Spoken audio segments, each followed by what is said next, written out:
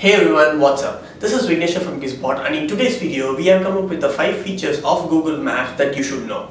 Let's go ahead.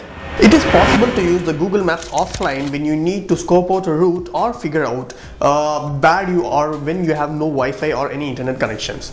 So in order to to make the map offline you need to go to the google map maps uh, app on your mobile phone and just tap the three vertical bars on the top left corner. When you tap it you can see the offline areas option. Just tap on the offline areas option as well. Um, in the option areas page as you can see here uh, just tap on the custom area. It will leave you with a small box where you can download a specific area to put into an offline mode. So as of now I'm uh, uh, downloading the map of Bengaluru in offline mode. Uh, before downloading it just make sure that your mobile is connected to your Wi-Fi uh, rather than your mobile data. And once you're set with the place you can just enter the you can just tap the download option here so as you can see the downloading the downloading of the offline uh, maps is in progress. Once the offline map is downloaded you can uh, search the route wherever you want within the downloaded uh, areas. So as of now as you can see I'm just turning on the Wi-Fi.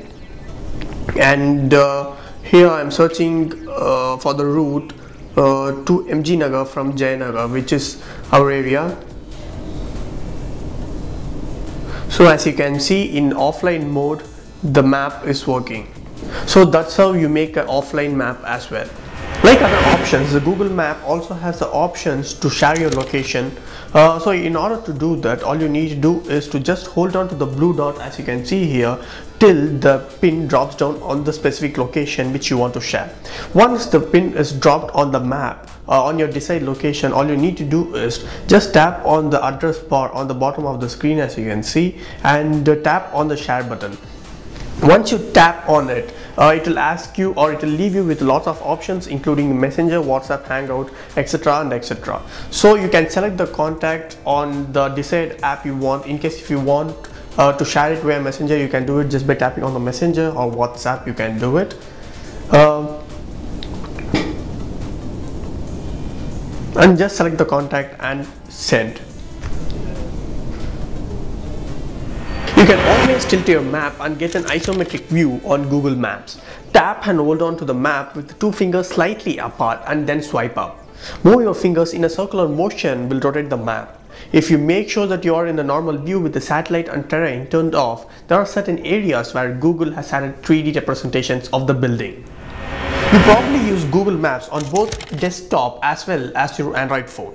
If so, there is no need to start over when you are switching from Android to PC or PC to Android. So all you need to do is just go here on the Google Maps and search for the location you need once it shows the desired location uh, you can share it on your phone just by heading on to the send to your phone option.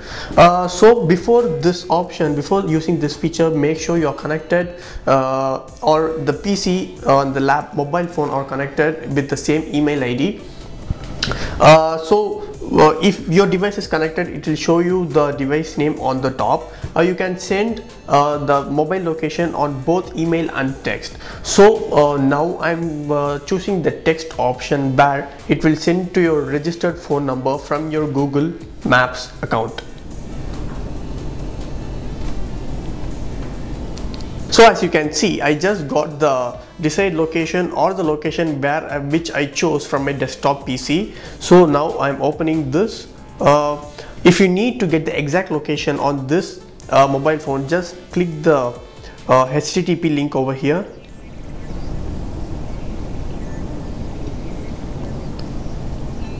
and it will take you to the, the location where you have uh, previously shared on from your PC.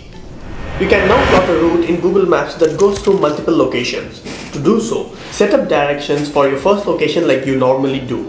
And then tap the three vertical dots on the top right corner and choose add stop. Add as many stop as you need and then tap finish.